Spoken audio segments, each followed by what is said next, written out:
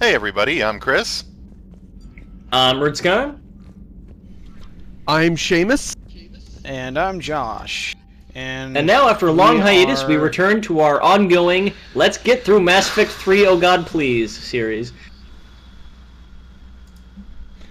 This this series is taking its toll on us. This is this is probably as hard as Alan Wake.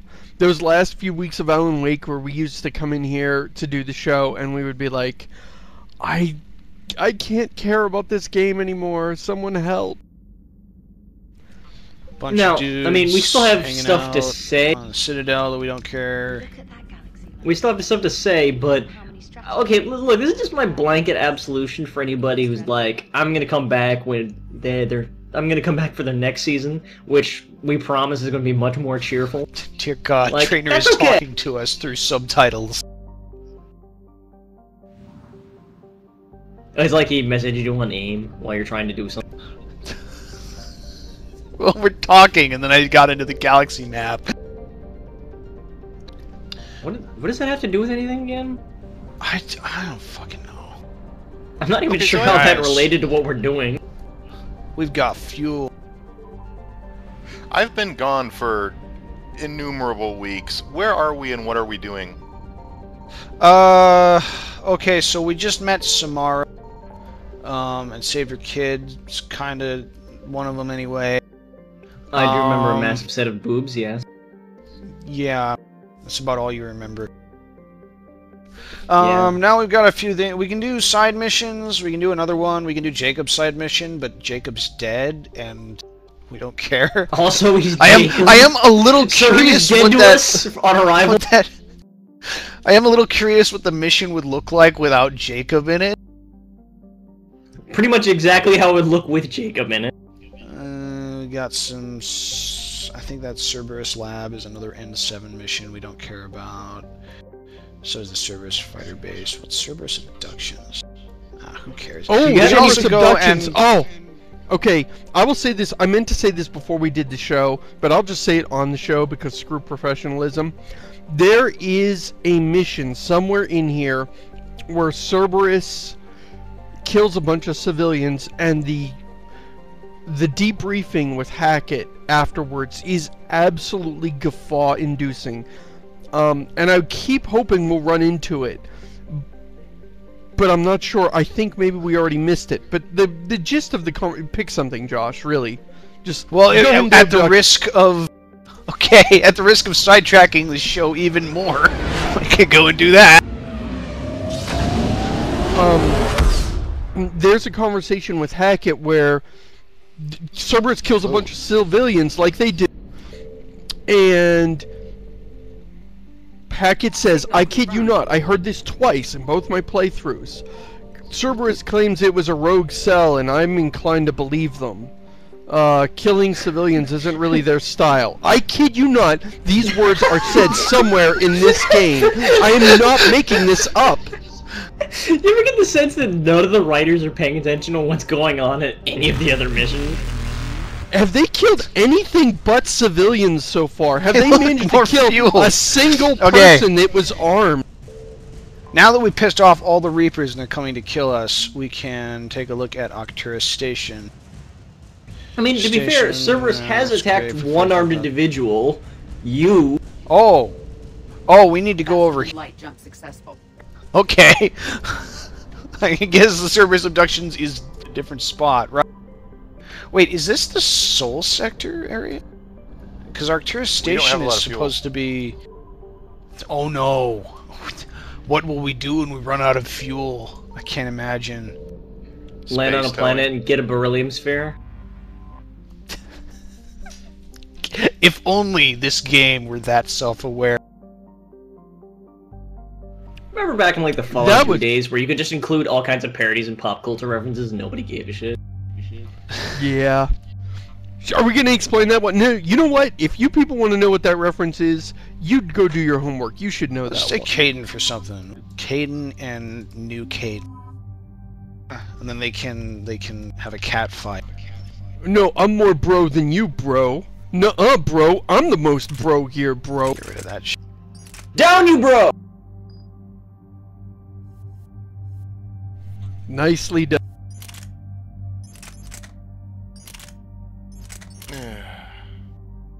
I, it, it does sort of. I, was- I was just thinking. I don't think I've ever seen those two characters interact in any meaningful way. Well, yeah, they're bros. Bros never interact in meaningful ways. That would be gay. Well, but I, I, I I guess my point is that a lot of Mass Effect is about the player of Shepard's relationship with these guys. You know, Shepard's relationship with Garrus because they're best friends, and Shepard's relationship with uh, other characters. But some of the best writing is when the, the two characters play off one another, like when you had Mordin and Wrex sort of sniping at one another. purpose? That's true. And you get to and be these the, guys and you get to be the moderator. and you get to pick sides. I like you better than you. I like you best. You're a better character. Um, yeah, and these these two guys really Cerberus don't have has any official channels to deny. In their crosshairs. This sounds like the mission that you're talking about, Shamus. Awesome! Oh, I was hoping we get to do it. It's worth it for the guffaw at the end. It really is. Where the writers just put a dunce cap on and give up. Look, they made us. They said they wanted the, the player to do a shooty level. Oh, this- this is the best we could do. Leave us alone. This map. I think is this the only map that we've beaten properly, Chris, in multiplayer? Or did Yeah. we did we beat another one? I don't know. No, remember. you, me, and Shamus beat this. Keep me updated. And did your rich I multiplayer thought Shamus joined us and we all died the single player? Oh, that's not an I- enemy. That's a person dying for no reason. You know, Okay. I want to say some good things about this level.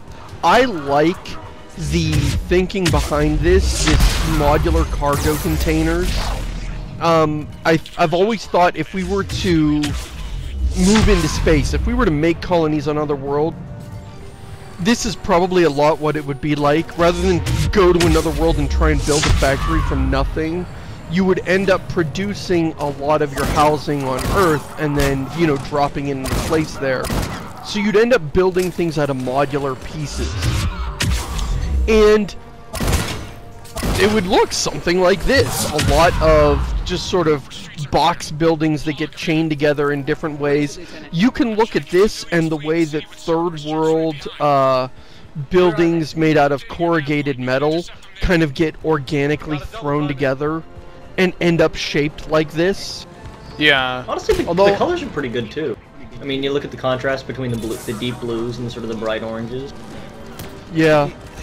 I mean, it's kind of a Yeah, cliche except color it's also contrast, blue but and orange. Yeah, Yeah. yeah, it is. It is blue and orange, but still, at least we can tell the foreground from the background here. Did did that person turn into two people as he died? Like I split him yes, from yes, like, he in- did. into his I was watching into it. his That, yin that's and exactly yang, happened. and then they both fell over and died. I really No, like one of them survived, and he will go on to redeem the sins of his predecessor and seek forgiveness for all the individuals he killed. And then you'll kill him again in another Cerberus mission. By This game sucks! You heard him. We hold here. I, I really like the use of uh, the, the multiplayer maps and the Defend single player. civilians. I don't know how to do that. but I, I kind of wish they were tied to an overall economy because they're very, very clearly tertiary and don't really give you much of a reward. It's just sort of stuff to do. Like No, you is can't actually go down the a cool ladder. mission. now you can go down the ladder. Yeah, it it's a cool thing uh, if we ignore the the problem of Cerberus itself. I mean, it's almost like anytime we have Cerberus on the screen, we just have to, okay, blanket hand wave, everything's wrong with Cerberus.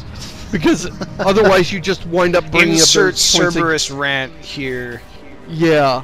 Like, aside from everything wrong with why would they be doing this and why would they waste their time and why would we shot at, have to deal with apparently. Oh, Yeah, I, I don't mind the idea of, and I like the idea of putting a human face on the conflict instead of a little kid dying.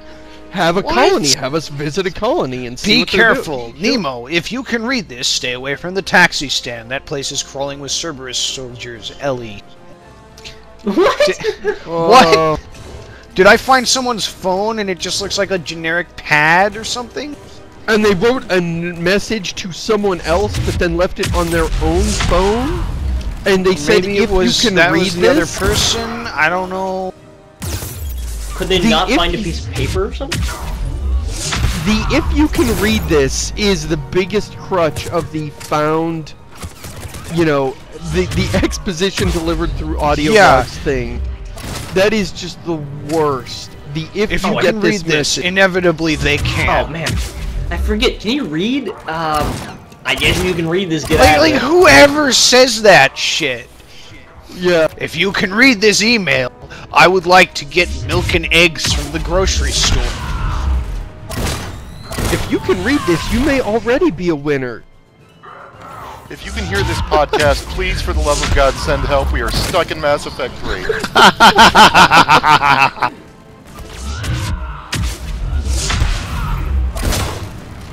no, but but uh, I, I like the idea of having these little side missions because they're quick, they're dirty. You just get in, you have some fun shooty bits.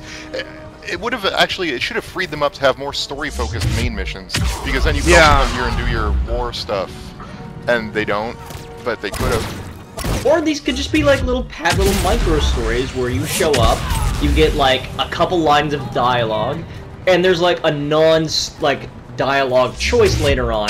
Like even like as simple as the ones in Saints Row the Third, where you run to one location to pick one option, run to another to pick another. You know. That would be good, yeah. Alright, we don't have time to do everything. Do we want to make sure that we kill the Cerberus Can I- ship that thank drop you. these guys off? Or do we want to f- save just these couple of civilians? We might ultimately save more lives by killing the Cerberus guys.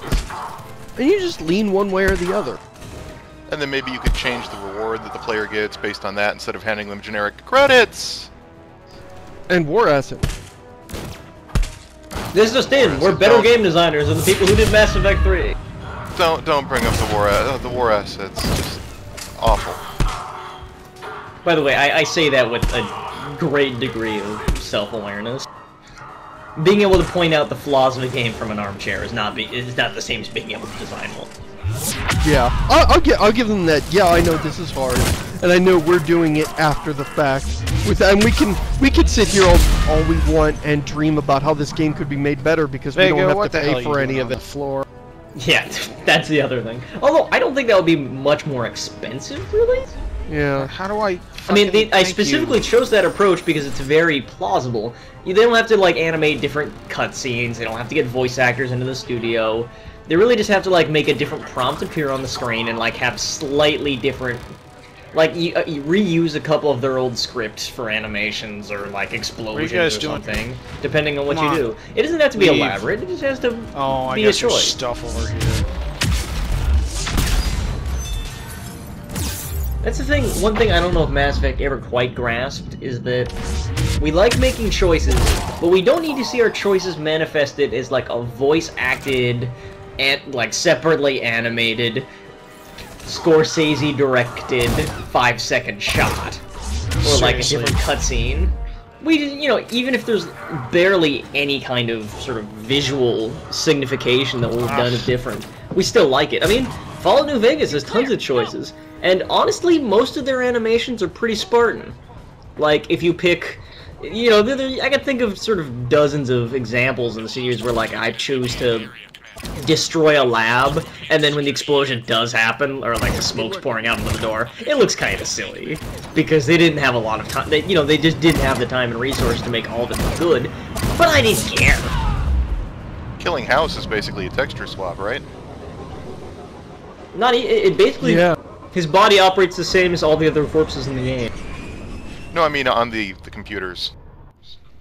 Yeah. Hmm. How the the yes man just changes what screen he's got or whatever. Reports of continuing Okay, Shamus set this up to be a big thing. Benning. Cerberus still denying Oh, please.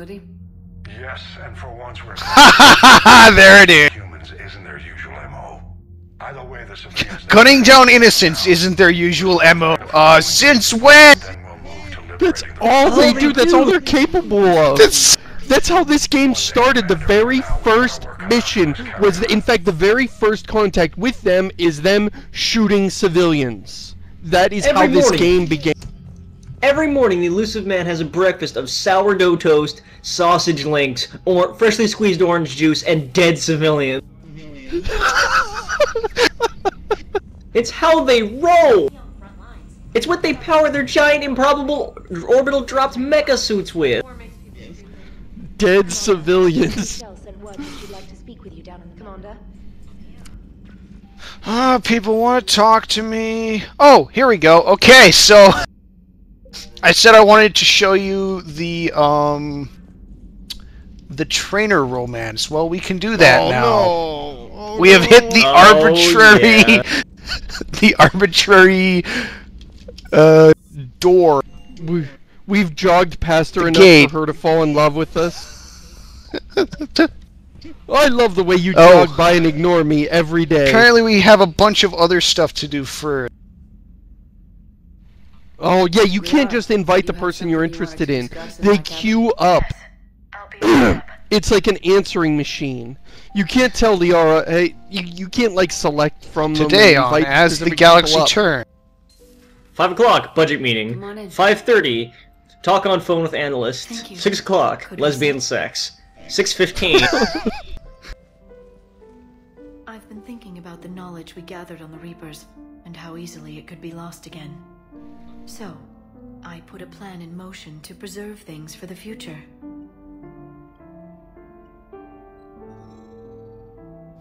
Having piano music in this game was the single worst soundtrack decision.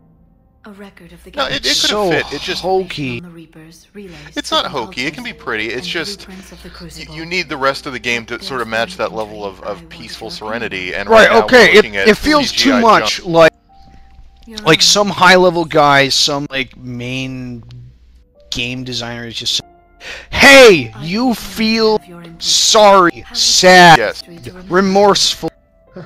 Should've Somber. Not like it was not That like the have been the scene was made to fit with the music. the soundtrack is David Gaynor's Thousand voice, very softly saying, "You feel sad. Please, I was an remorseful. What is the future of humanity? I'm You don't know. these records Close your eyes and try to capsules and seeding visualize it. copies on multiple planets. Many people you know are. not Whereas It's not free ideally You yourself will The die. the scene installing has every translation should- and linguistics program I could find. be the thing that's invoking those questions Vigil on Islands? or feelings and then the music is reinforcing them. for some time. Well, also, it just sounds like a role-playing game set in space, like Star Wars or something. So this is Soft, actually, I mean, I guess piano music okay, kind of cool. Um, Liara is basically making Vigil Mark II. I like the idea of this. I, I wish there was more done with this idea. We'll let Liara But decide. You know me well enough to fill in the blanks, Leo. Yeah. Make me Are inspiring. you sure? I like that, that you could be a jackass. I'd like it to be your call. You know what? Wait. That would be awesome that people in the next cycle find this. Oh, we found a rare human art- artifact from the rare human civilization, and they open it up, and it's basically a giant PR pod for Shepard. Oh, look! Look, it's, It's, that time it's, again! it's an time elect for the Duke game to give Nukem ad. It's time for the game to give one transplantable line of lip service to the background you pick. Careful this doesn't sound like a diary. It's I Geoff can't Keighley surrounded by Mountain Dew and uh, Doritos. I will fill link in in the the blanks. show notes. Yep, you've been there for me too, Liara, all those times when... Oh wait, no. You made up. Fill in the blanks for me, Liara. You know me well enough. Are you sure, Shepard? I I'm sure. I did just write your name in the Next up, the stories of Com- Ask Commander Shepard.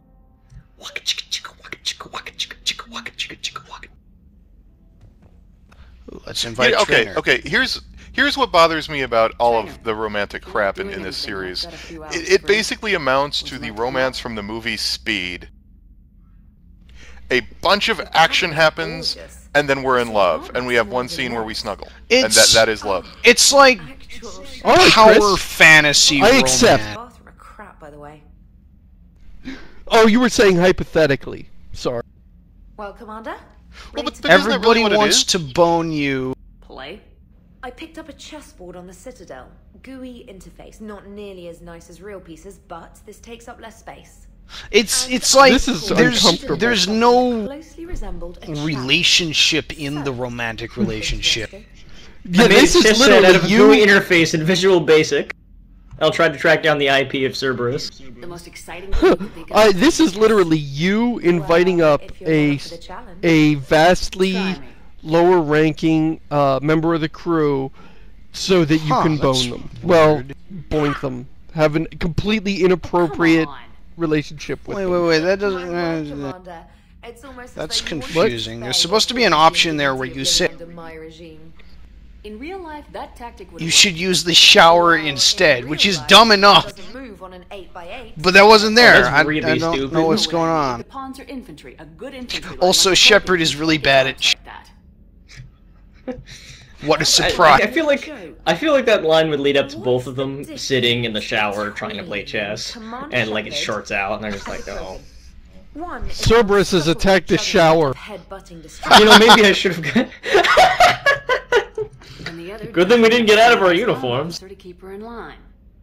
Ooh, that's even better than the number of Oh, well. punchline. I'm glad you. I like how you guys you guys play Saints Row the Third. Thanks. I like how Pierce is apparently really good at Really chess. Hell yes. Yeah. He's good at it because it's the least gangster thing the writers could think of.